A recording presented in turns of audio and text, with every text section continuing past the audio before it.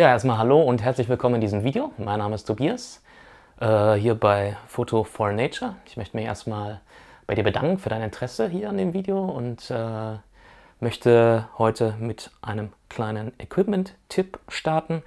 Und zwar geht es um dieses Gerät, was ich hier vorbereitet, mitgebracht oder hingelegt habe.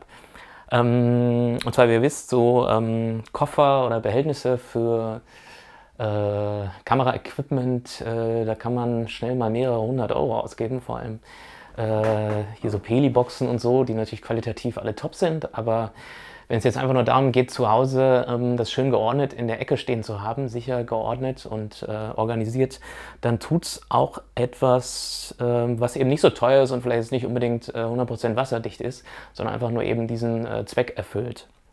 Und äh, da bin ich dann irgendwann über den äh, Foto, die Foto-Toolbox von Wiesent gestoßen, die es für 54 Euro im Bauhaus gibt. Äh, kann man online bestellen oder halt eben im Bauhaus seines Vertrauens vorbeifahren.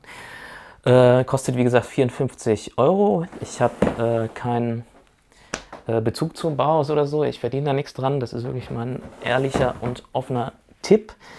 Ähm, eben weil es günstig ist und weil es seinen Zweck vollkommen erfüllt. Ich habe jetzt hier beispielsweise, also der kommt dann, das ist natürlich hier schon von mir eingerichtet.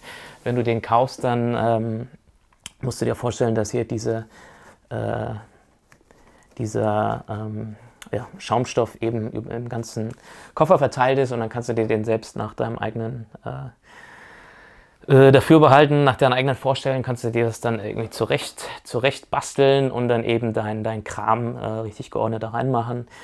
Finde ich äh, super, weil ich habe ich hab davon mittlerweile, glaube ich, fünf Stück.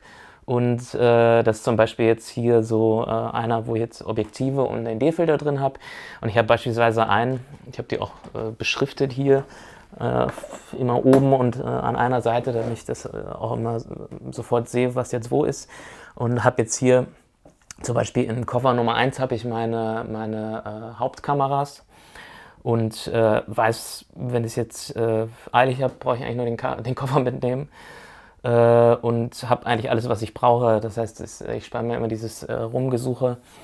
Und äh, ja, wie gesagt, es ist, sitzt, wackelt, hat Luft. Und äh, wer so ein bisschen äh, die Preise kennt da draußen, also für 54 Euro, äh, kann man sich überhaupt nicht beklagen. Also, ja, wenn euch noch sowas fehlt, dann Bauhaus, Link zu diesem Koffer unter dem Video, keine Angst.